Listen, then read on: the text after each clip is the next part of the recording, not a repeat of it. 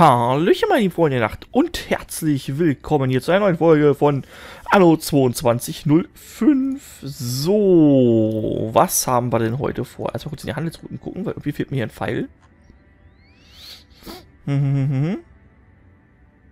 Der ist da?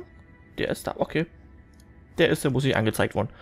Ähm, was haben wir denn eigentlich? Haben wir irgendwas, was wir nicht mehr brauchen? Nur noch mal so nachvollzogen. Na, na, na, na, na.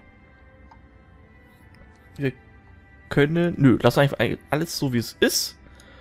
Und ich sag mal, wir schließen das. Gehen mal ganz kurz auf unsere Hauptinsel. gar nicht umhinkommen, mit dem alten Nick Geschäfte zu machen. Da sind auch verbleiben drei Minuten. Ja, das ist erstmal egal. Kümmern wir uns in der nächsten Folge drum. Wenn denn der Ladebalken nicht mehr fertig ist.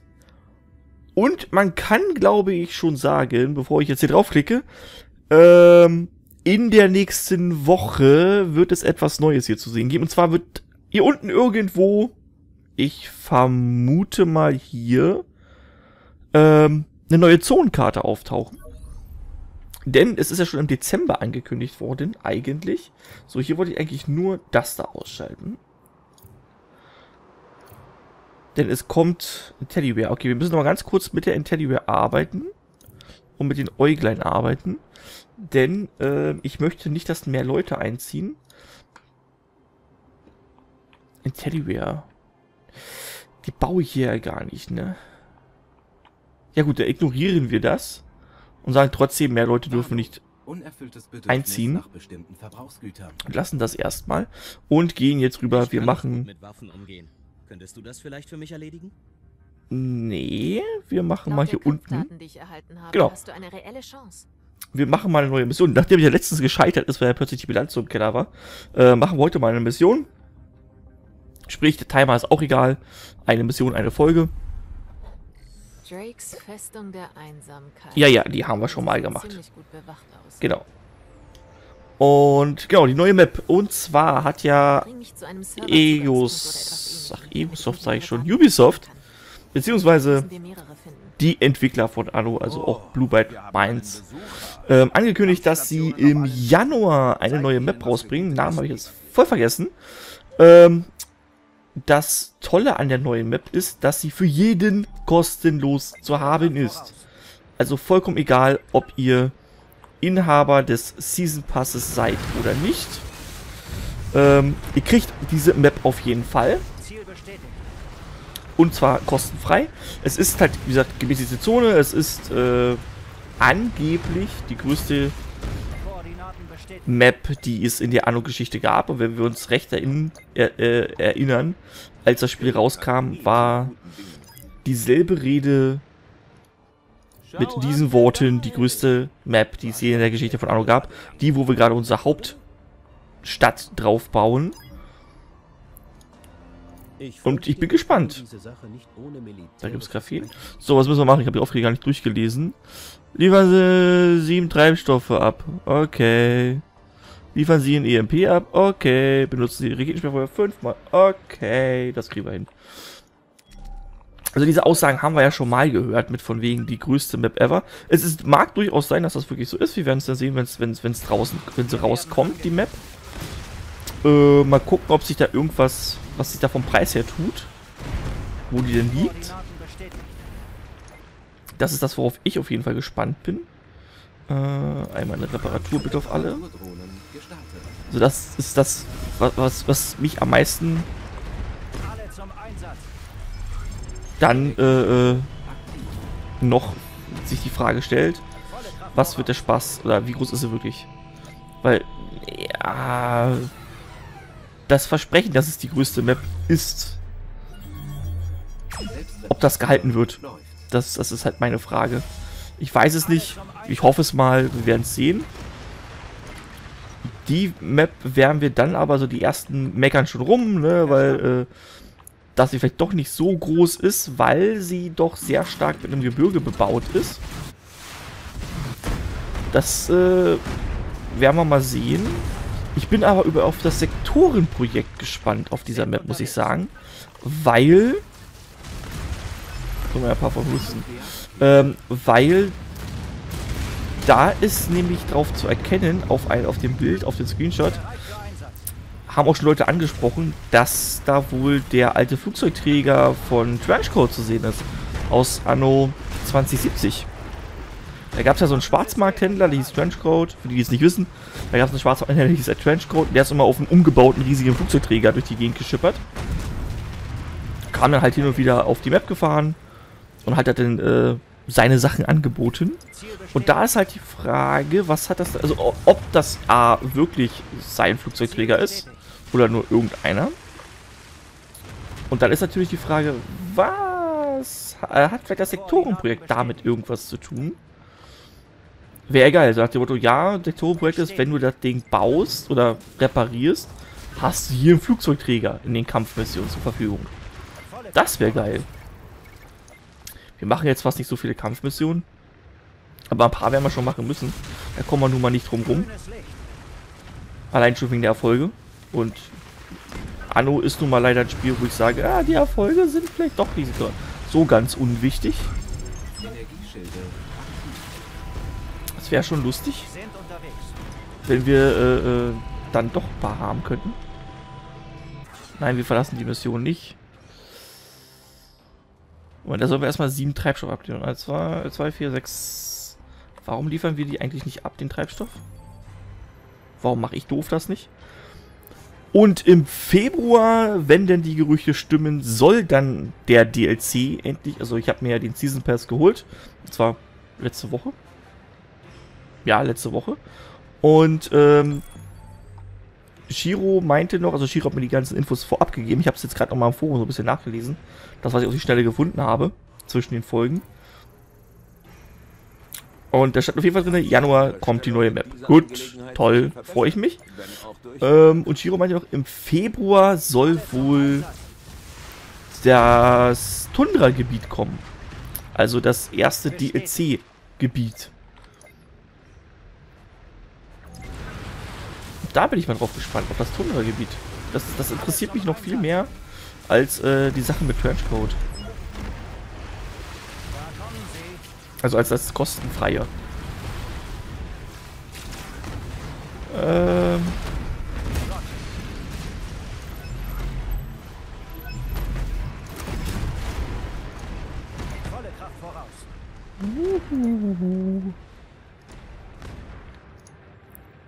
Die Treibstoff. Ja, ihr könnt ja mal da bleiben, gerne, genau. Packen wir noch dazu. Und dann mal hoffen, dass wir... Den klatschen wir da rein. So, jetzt. Ne, aber der, der, der DLC mit Tundra ist auch schon so. Da freue ich mich richtig drauf. Soll wohl A, natürlich ein natürlich eine Insel sein, aber recht weitläufige, soll keine Insel sein, darum geht es wohl eher. Das ist halt mehr sowas wie die Mond-Dinge, nur eben, dass wir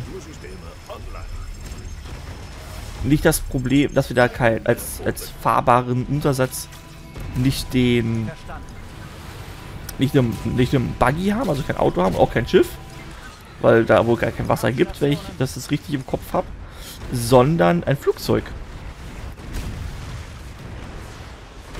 Und das ist ja mal was, was ganz was Neues. Okay, vielleicht bloß eine Kleinigkeit, aber da wäre interessant, ne? was ist das Sektorenprojekt?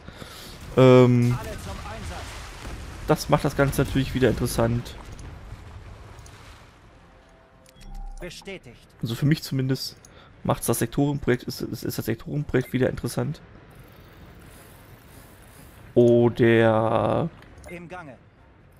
was da mit, mit Tundra soll ja auch komplett neue Waren kommen, dementsprechend auch neue Warenketten. Dann glaube ich schon mal fast, dass ähm, deswegen das kostenlose, die kostenlose Map, die kommt, uns schon mal ein bisschen vorbereiten soll. Auf das kommende DLC. Wow, das war ein bisschen sehr viel Schaden.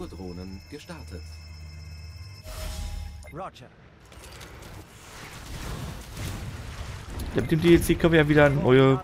Gebäude bauen. Vielleicht die Produktion ein bisschen, vielleicht ein bisschen mehr in Überproduktion gehen. Grünes Licht. Das wäre vielleicht noch was. Dass man vielleicht dann sagen kann, okay, man nimmt die diese Map. Ich weiß nicht, wie sie, ob sie optisch jetzt so schön viel schöner ist.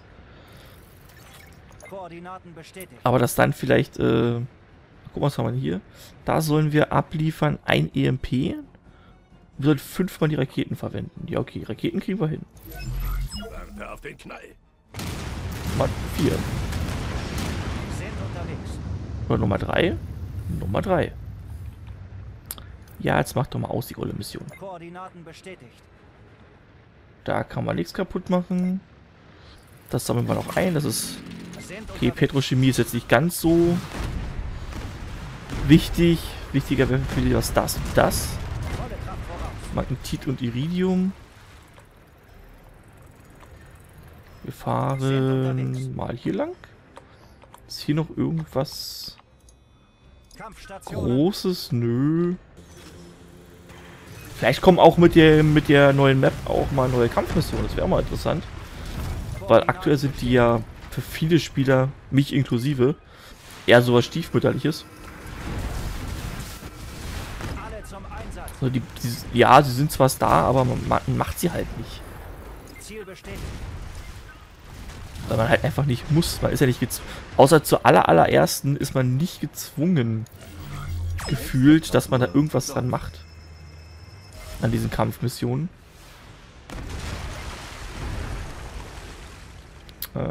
Ähm, EMP haben wir nicht. Zack, zack.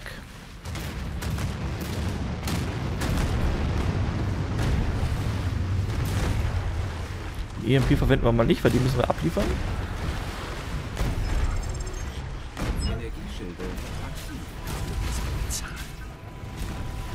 So, da gibt es noch ein bisschen Benzin, Treibstoff. Heißt es ja, ich glaube, das heißt im Englischen mit Ziel Energiezellen. Zack, machen wir das U-Boot da weg.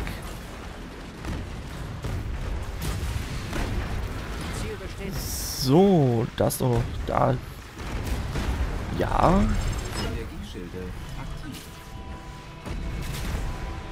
mach die mal da weg. Oh, jetzt gehen wir nicht auf die Piste da oben. Ist ja schon ein bisschen nervig, das Gebäude da. Danke, jetzt bist du endlich mal weg.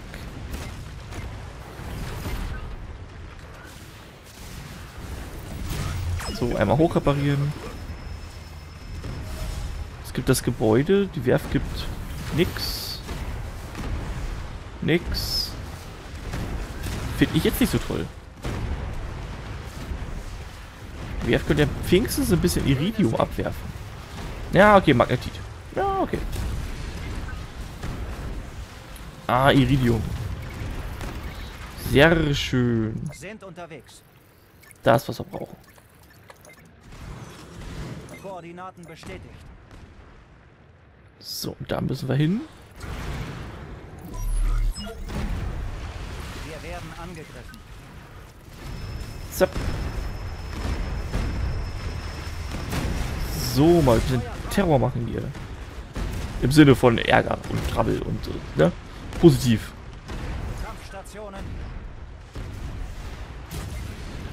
So, dann kommt man hier lang. Macht die mal kaputt.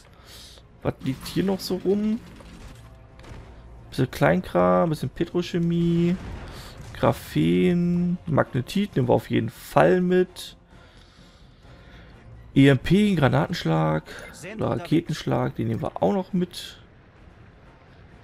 Bitte einmal reparieren.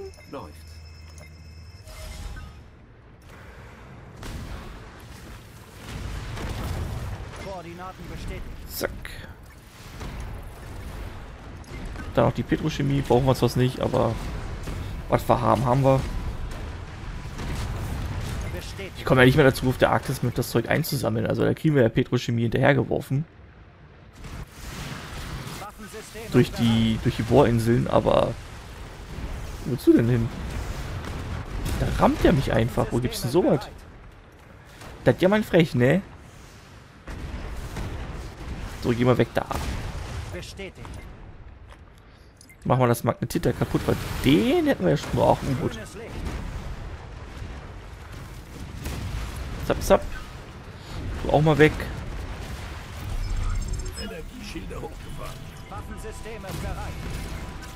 Das kann auch mal weg. So, dann noch mal einmal hoch reparieren. Danke. Mach mal dieses Magnetitlager weg. Koordinaten bestätigt. Zack, zack. Der Magnetit brauchen wir für die ganzen Module auf dem Mond. Petrochemie für die Module auf oder in der Arktis.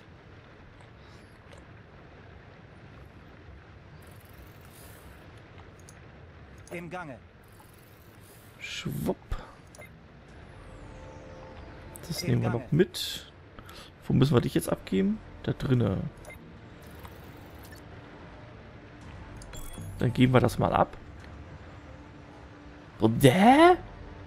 Ja, nie ist klar. Weil da ist ja Flachwasser plötzlich, oder warum? Muss ich jetzt nicht verstehen.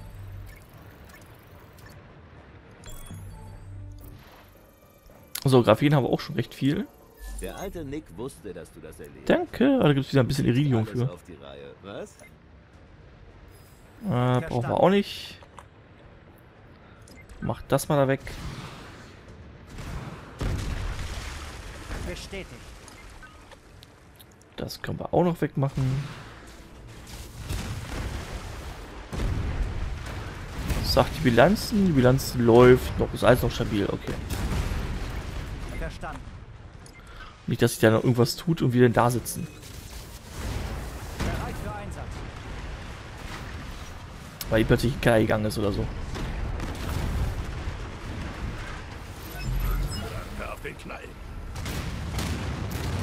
Äh, zurück in die Steinzeit. Welcher Erfolg? Was, was, was? Ich habe keine Ahnung, was dieser Erfolg sagt.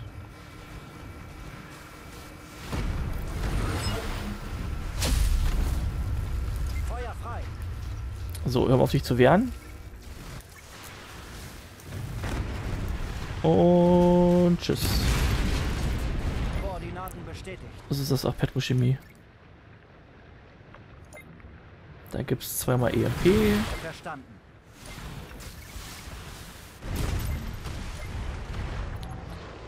Können wir hier mal so Dings drauf werfen.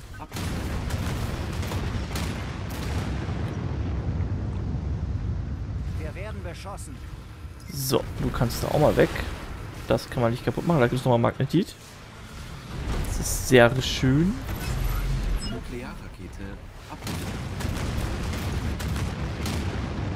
Ähm, ich würde gerne mal was reparieren.